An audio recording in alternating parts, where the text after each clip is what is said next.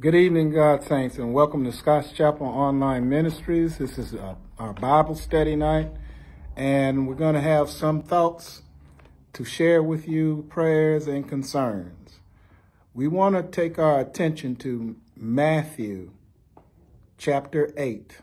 Matthew chapter 8, beginning at the 23rd verse. Matthew 8, beginning at the 23rd verse. Then he got into the boat, and his disciples followed him. Suddenly, a furious storm came up on the lake, so that the waves swept over the boat. But Jesus was sleeping. The disciples went and woke him, saying, Lord, save us. We're going to drown. He replied, You of little faith, why are you so afraid? Then he got up and rebuked the winds and the waves, and it was completely calm. The men were amazed and asked, What kind of man is this? Even the winds and the waves obey him. We want to talk for a few moments on the subject of the awareness of his presence, the awareness of his presence. Now, uh, previous Sunday, we did being in God's presence. And I want to anchor this point and I want to give the importance of being in God's presence because we ask for so many things. And sometimes our prayers go amiss or we're not asking for the right thing. Uh, what we should be asking for is to be aware of God's presence with us all the time, to be in his presence. For I believe that if we're in his presence, great things will occur. But let us go through this because it's especially important because we that we experience God's presence because we're going through storms in our lives and we will go through storms. And we need to be keenly aware that God in his grace and his love, he is aware of our needs and neediness. And we learn that everybody goes through difficult times, which are storms, in their lives by one kind or another. The reality for each of us is that we are in a storm. We have just emerged from a storm or you're about to go into one. And we need the comfort from the word of God that gives us assurance of God's presence in the darkness and in the storms. I remember Elihu in the book of Job as, where is God who giveth songs in the night when Job was going through his storm? David in the 42nd Psalm answered, in the night his song shall be with me. David was convinced that even though I am going through a storm, that I'm going through life's challenges, God's presence is with me. But this passage in Matthew is very interesting. I believe Paul went through uh, similar storms in his life. And another scripture I want you to write down is Romans uh, chapter 8, beginning at the 35th verse 35 and 36 that who shall separate us from the love of Christ? Shall tribulation, distress, or persecution, or famine, or nakedness, or peril, or sword? Yet in all these things we are more than conquerors through him who loved us. For I am persuaded that neither death nor life, nor angels, nor principalities, nor powers, nor things present to come, nor height, nor depth, nor any other created thing shall be able to separate us from the love of God, which is in Christ Jesus our Lord. This is for everyone that will go through dark valleys sooner or later. All of us will get sick. All of us will become ill. Some will be permanent. It is an illusion that this side of heaven, all diseases are going to be wiped out. All pain is going to be removed. There will be no tears. That you won't have any problems. But the truth of the matter is that we all have a cross to bear. There are going to be periods of suffering, bereavement, discouragement, frustration, dangers, and difficulties. So I'm asking the question, and I want to learn, and I want to strive to be in God's presence, to have an awareness of his presence. And I say awareness of his presence because when we talked about it in the sermon, God is present everywhere. He's omnipresent. He's there all the time. There's no place that God is not. I know that because the psalm writer says in the 139th psalm, verse 7, Where can I go from your spirit? Where can I flee from your presence? If I go up to heaven, you are there. If I make my bed in the depths, you are there. If I rise on the wings of the dawn, if I settle on the far side of the sea, even there your hand will guide me, your right hand will hold me fast. If I say, surely the darkness would hide me and the light become night around me, even the darkness will not be dark to you. The night will shine like the day, for darkness is as light to you. He's talking about God's omnipresence. He's always there. He's always available. It's just that we get to a point because we are so confused or we are so challenged or we are so overwhelmed by the storms that come in our lives that we're unaware of his presence, that we're not uh, aware of his active presence in our lives. And then we talked about his manifest presence in our lives, the active moving of God in our midst and being with us personally and personally revealing himself. So I want an awareness of that. I want an awareness that I will never leave you nor forsake you. So let's go back to the text. Now remember, Jesus had been ministering and he had been demonstrating his power, spiritual authority over all things. And he's using this as an example to teach his disciples those truths that he's already spoken of as they went about uh, ministry in the region. And then he got into the boat and his disciples followed him. Suddenly, a furious storm came up on the lake so that the waves swept over the boat, but Jesus was sleeping. Verse 24. God has given us go, make disciples. He's given us commands. He's given us his word. He says, you're going to, let us go to this other side. Let us go. But all the while, he was with them as God is with us. But Jesus was sleeping, meaning that his omnipresence was with him, with them, but that manifest active presence of moving, of action, was uh, not being activated at that particular time. There was no need because Jesus was with them. Verse 25, the disciples went and woke him, saying, Lord, save us. We're going to drown.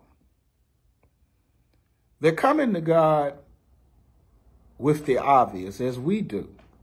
the obvious hurt, the situations that we face that's immediate in our lives. There's nothing wrong with that. But he replied in verse 26, You of little faith, why are you so afraid? And before I continue reading 26, I got, that's what it was. It, he was chastising them because of their lack of faith. You little, you of little faith. Why are you so afraid? You have my presence. I am with you. I love you. And that's why God doesn't want us to trip over the uh, things that are going on in our lives. It's because he is with us. Why are you upset? My presence is here. I'll never leave you. So why are you worried about what is on those things on the outsides of the perils of life and the distress and the persecution? I've made you more than a conquerors. You are going to this other side. You have the victory. Nothing is going to separate you from me. But you need an awareness. You need to move from a little awareness to a bigger awareness. Then he got up and rebuked the winds and the waves, and it was completely calm. Hmm. See, our lives will become stronger and spiritually deepen as we move through our storms. As we learn the awareness of the presence of God the Apostle John learned about the presence of God while he was on Patmos and sung songs of joy and praise. At midnight, David arose as he wrote Psalms to give thanks to God as he was going through tremendous adversity and problems. Paul had realized and told the Corinthians that when I am weak, then God is strongest and manifests himself more.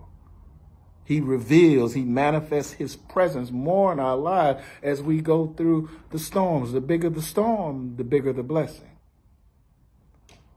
And it's very important that we learn to sense the awareness of his presence so that it helps us to deal with life's storms. The cause of the storm is not the primary issue. It's irrelevant.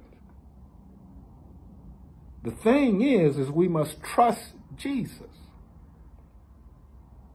Even in the midst of our storms. Even in the midst of trusting in his word that we will go to the other side. But we get so consumed, and that's the tactic of the enemy, is to take our eyes off of Jesus and to place it on what is happening around us. And we must move past those things. God's words assures us that Jesus will provide for us. Sometimes we may not see Jesus, but he sees us.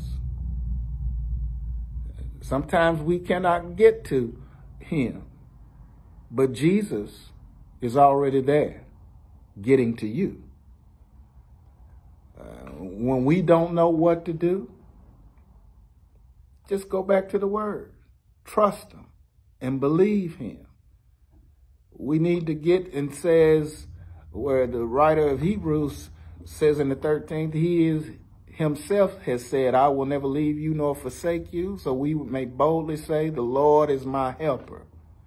I will not fear.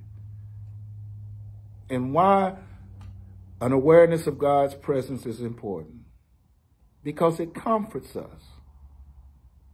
Each of us knows that when we are alone, it's much easy, easier to feel fearful. But if we have a friend that sticketh closer than a brother in time of trouble, we can take comfort in his presence.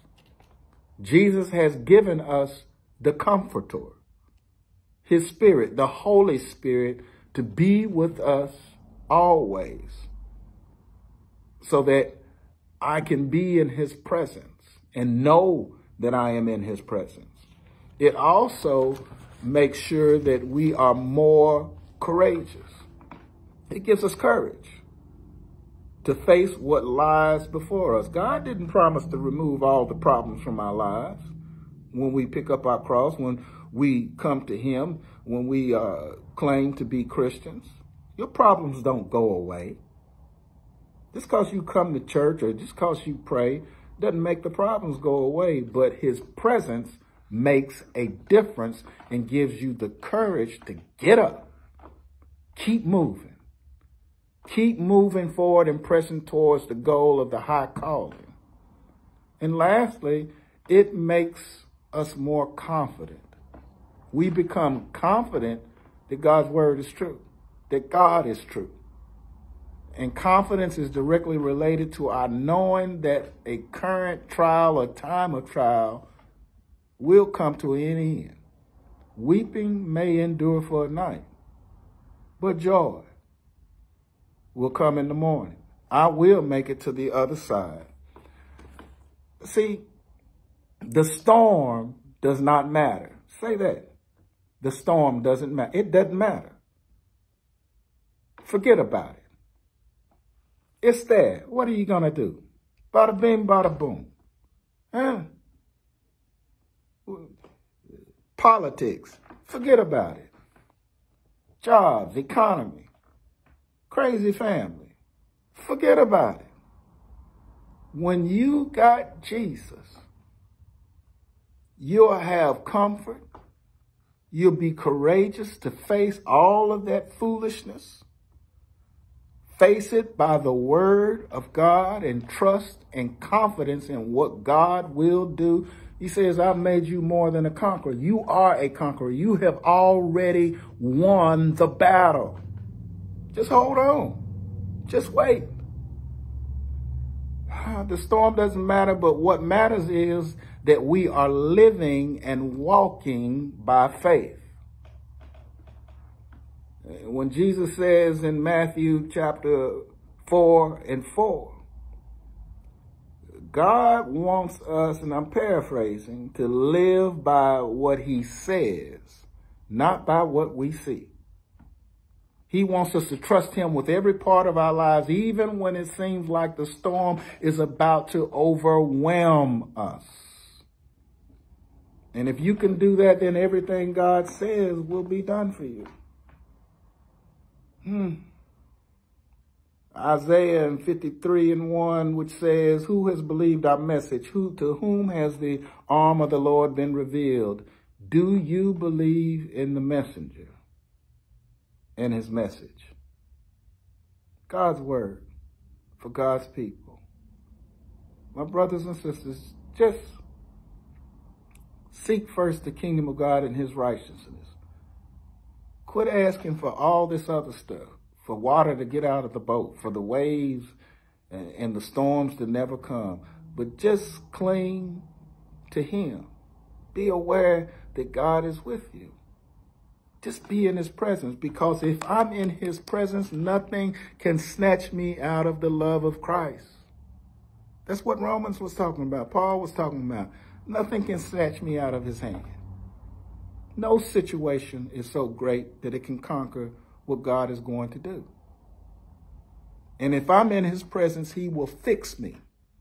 Just like he fixed that man called Legion that had the legion of demons in the inside of him and Jesus cast them out. And that man was sitting at Jesus' feet, clothed and in his right mind. When I get in God's presence, he will make my mind right. He will make my heart right. He will create in me a clean heart and renew in me an upright understanding. He will give me that comfort and the courageousness and the confidence that I need to keep on keeping on. Hmm. That's the awareness of God's presence. So pray and ask for it. And all you're getting, get that his presence. God bless you. Holla.